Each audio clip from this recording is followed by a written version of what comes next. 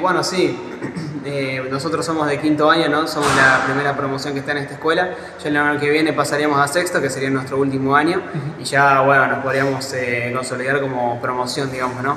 Entonces, bueno, la idea de, surgir, de, o sea, esta idea surgió de, la venta de pizzas, porque, bueno, obviamente necesitamos recaudar dinero para, para el viaje egresado que tendrían todos los chicos que se egresan de la secundaria. Y bueno, como somos la primera promoción, eh, no sé, nos sentimos más motivados incluso porque, bueno, eh, nos, como que nos orgullece estar en esta escuela. Entonces, bueno, eh, también agradecemos a la, al canal por permitirnos este espacio, pero sí, logramos recaudar... Por, afortunadamente todas las pizzas que necesitamos, todas las ventas. Eh, y bueno, llegarían las últimas 10, las últimas 12 disponibles, así que todas las personas que quieran comprar, eh, están los números de teléfono, ya hicimos toda la, difusión pertinente.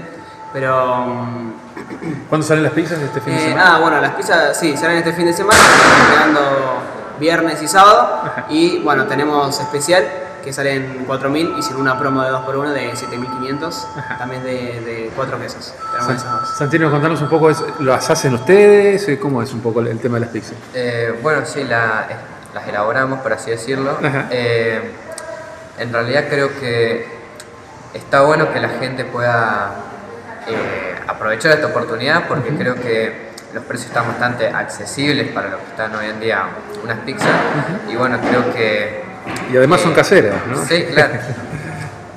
Entonces lo importante es aprovechar la oportunidad que tiene la gente. Y además saber que están colaborando con, eh, con este fin que tienen ustedes de lograr este, este, viaje, ¿no? Claro, justamente porque... Para esta primera promoción.